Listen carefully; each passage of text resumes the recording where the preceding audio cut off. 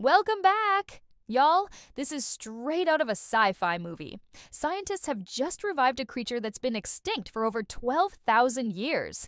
That's right, the dire wolf is officially back. Stick around as we break down how this groundbreaking de extinction happened, what it means for science, and where these legendary pups are now.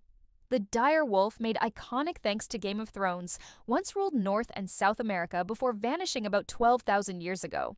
But now, thanks to the brilliant minds at Colossal Biosciences, three pups have been brought back to life. And their names? Romulus, Remus, and Khaleesi.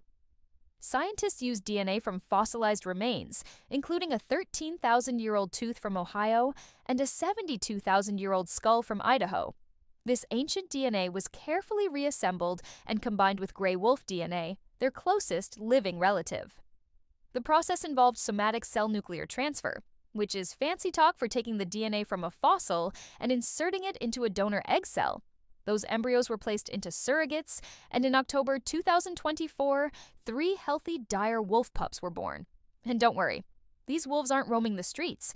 They're being raised on a 2,000 acre ecological preserve right here in the US, where they're thriving in a secure, wild like environment. Colossal isn't stopping there.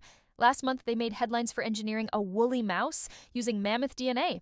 And yep, their ultimate goal is to bring back the woolly mammoth by 2028.